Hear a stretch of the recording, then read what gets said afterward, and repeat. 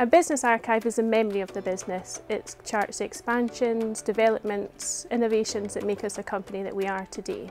The archive is essentially one enormous evidence store that proves where we've come from. The records show how we've changed, innovated and survived.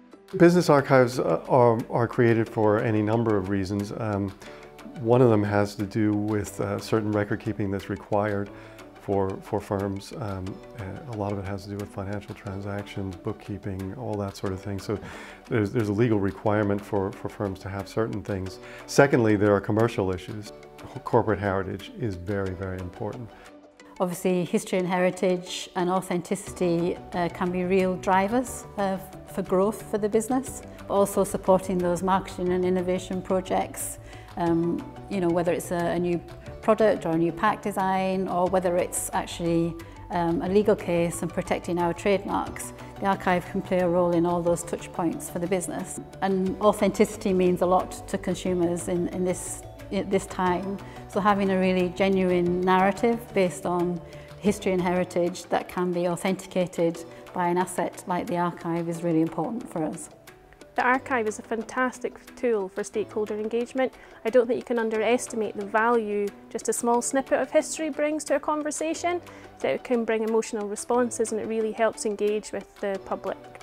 Well, business is very important to the country and I think it's something that, that we forget. It's business that makes everything.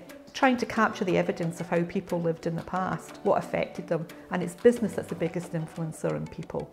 So capturing the archives means you can get an opportunity to understand how people were living. The records are used by all sorts of people. They're used by teachers who bring working parties in on projects. They're used by people on family and genealogical history because you can trace families through and these things too. But they're mainly used by people um, students and professional historians and economists and historians who are interested in the labour relations, who are interested in the cost of living, who are interested in the working conditions and all of that kind of thing. So it's, it's really a, a cross-section of society, different interests who use the same records for different purposes. So we were actually brought to the archives uh, for a group project that we have. And we were actually looking into the business links between Scotland and Cuba in the 19th century.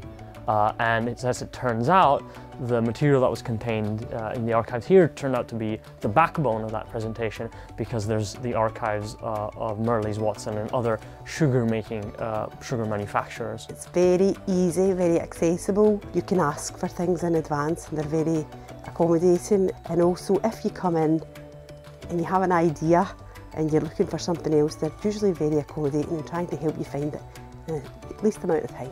Archives are important for anything to do with primary sources or even wanting to add that extra element to an essay. Uh, archives are really important, so I expect that I will be here again.